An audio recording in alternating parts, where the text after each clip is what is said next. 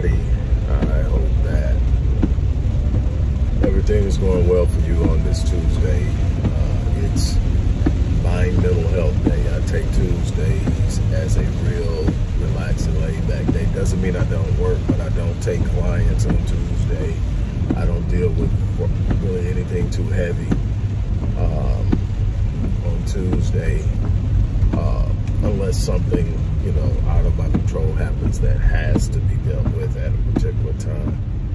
Uh, but anyway, here I am, and I want to talk to you about something that I've been uh, immensely passionate about for decades now, and I keep talking about it, and we keep uh, casually engaging it. And normally in life, what I've learned, uh, and what just like Les Brown says, uh, I said a little differently, but basically, when you move casually through life, you normally end up a casualty. Uh, when you address issues that impact you in a casual manner, you normally become a casualty of the people who take it serious, of the people who are benefiting for, from your demise or your lackadaisical approach. Um, and I want to talk to you about that. Before I, and, and, this is directly with the feminization of the black male image. Uh, but real briefly, I want to really push you guys to uh, support the work we're doing. We are, well, we have just kicked off um, a very powerful research campaign that deals with uh, mental health uh, in the black community, predominantly men, but women as well, and its impact on uh, the homeless population, its impact specifically on the black population and the homeless population. And it's about, the goal of the research is to develop and accumulate enough data to present to uh, local, state, and federal legislators uh, to change policies and statutes surrounding mental health so that adult males can get the help they need uh, because there's a huge gap there and I deal with a lot of it because it comes to me and trying to find sources and resources and get the people the help they need is there's so many blockages, there's so many gaps, uh, and it can be addressed at a state level, it can be addressed at a social level, but we also need to be aware of it uh, and this is going to be a heavy undertaking, but I'm going to be presenting my findings hopefully within a year uh, to, uh, like I said, local, state, and uh, federal legislators, but definitely state legislators because they're going to make the state laws that govern how mental health is engaged from people with, and I'm talking about uh, not simply stuff with the prayer. I'm talking about things where people can uh, dissociative disorders, schizophrenia, things where we're really not dealing with reality and it's hard to reason, it's hard to make sense, and people need to be managed and helped. Because what happens is with that population heavily, especially the men, what happens in it uh, with with that is they normally end up either homeless or in prison. And I want to curtail that. I want to uh, come up with solutions. I've done a lot of work in the area. I have a lot of clientele that come to me. But when you start dealing with that population, you really and truly need uh, basically a vertical sphere of intervention where we can deal with them on every level because it's not just about what they're thinking, it's how they're processing, it's their neurobiology, it's their body chemistry, it's it's it's so many other things that have to come into play and we need the resources we need the access and they need access. And there's so many blockages to that now.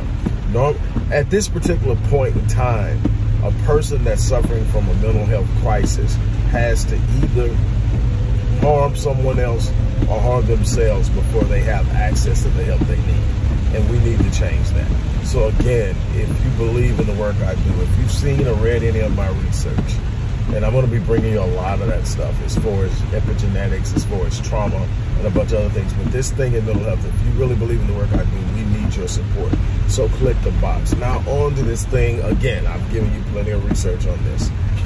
Uh, the push and the, the agenda uh, to feminize the black male image. And let me define what I mean when I say feminize the black male image. I'm not talking about homosexuality. I'm not talking about gender assignments. I'm talking about taking heterosexual masculine men and feminizing the image uh, man by man. And if you look at Hollywood, it's been done consistently. There are very few black men in uh, Hollywood that haven't had to put on a dress, wear makeup, do something that blunted their masculinity to make them acceptable, to make them palatable, uh, to make their abrasiveness and bluntness uh, and unapologetic blackness not as forceful uh, from Eddie Murphy to Martin Lawrence to Flip Wilson and on down the line. Uh, basically, uh, it almost refusing to do it almost ended. Uh, God, I can't believe I can't think of this guy's name. Uh, everybody knows what I'm talking about. Brilliant kid. I just cannot think of his mind. My mind is so focused on so much right now that's going on, uh, business-wise and in my personal life. But uh, uh, God, it'll come to me when I'm not thinking about it. But anyway, uh, basically refused to put on a dress. almost ended his career. Dave Chappelle almost ended his his uh, entire career because he refused to put on one. Uh, maybe there are a few others that didn't do it. You know, they got Will right out the gate with six degrees of separation. Uh, and, you know, there's so many more. I haven't ever seen Denzel in one. I haven't ever seen Larry Fishburne or uh, Samuel L. Jackson. Not saying it didn't happen. I haven't seen it. Uh, but that's the thing. So the reason I'm saying this is Jimmy Butler every year comes out with some new look uh, for that starts the season that marks some change in his life.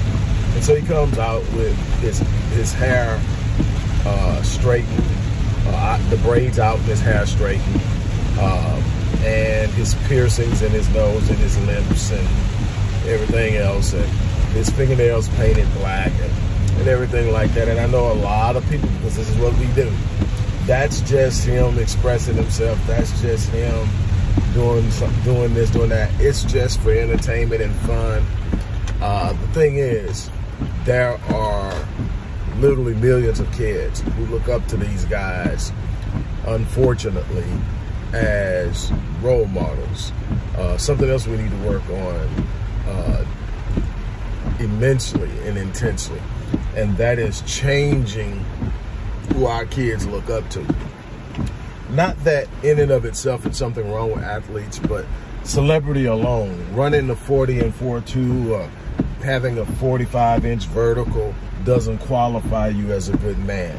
Uh, you know, being able to spit lyrics that are mad crazy doesn't qualify you to be a good man. We're having that conversation yesterday about, you know, uh, KRS-One and his intent on defending Afrika Bambaataa uh, and the molestation of countless dozens, dozens of young black males while they were minors.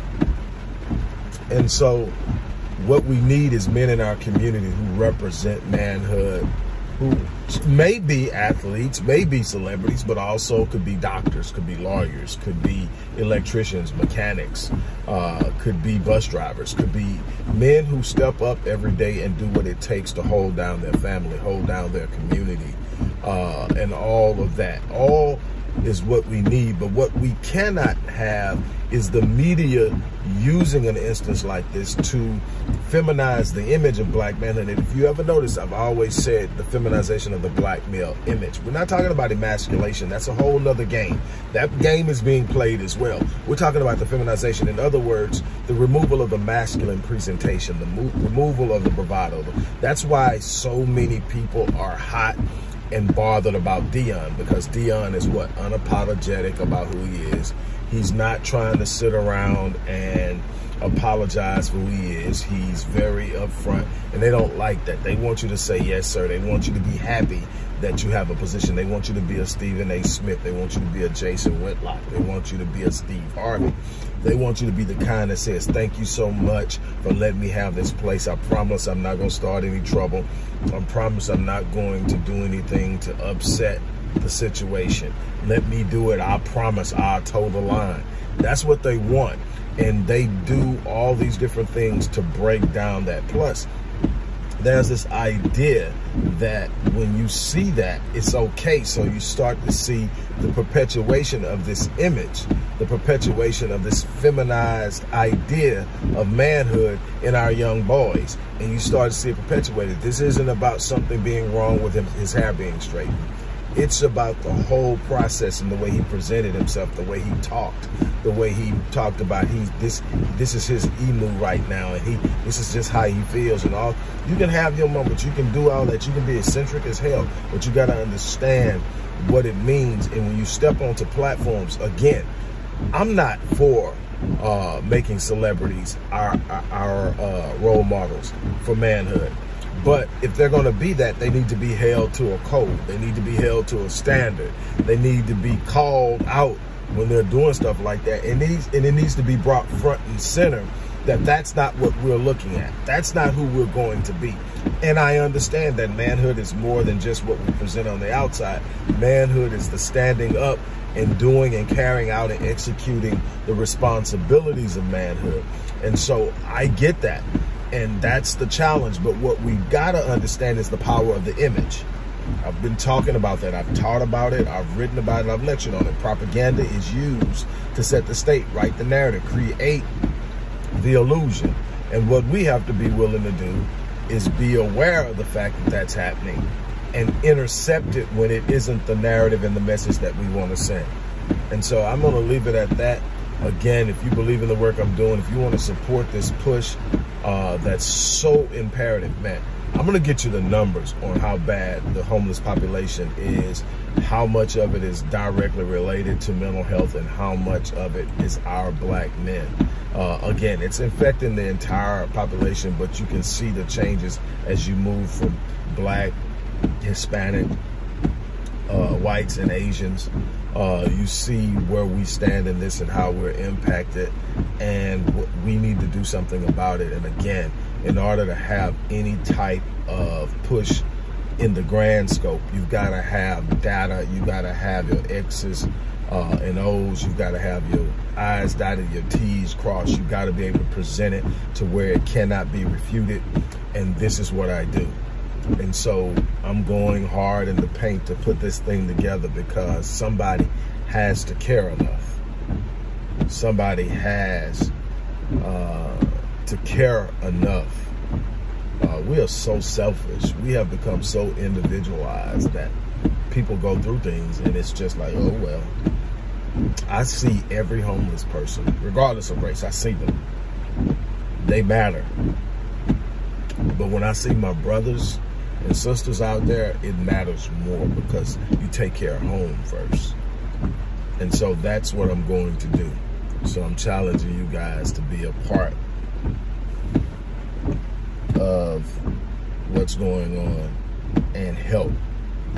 Look in the description box. You can give uh, via the link. You can give via Cash App or whatever you do. We need to make this happen. And as you can imagine, research isn't cheap. So let's make it happen. Let's let's do that. But again, this whole Jimmy Butler thing isn't just some little thing to get uh, laughs and memes out of. We've got to know the play, and I tell you all the time what we lose because we don't understand how things work. On that note, I'm out of here. You guys have an unbelievable remainder of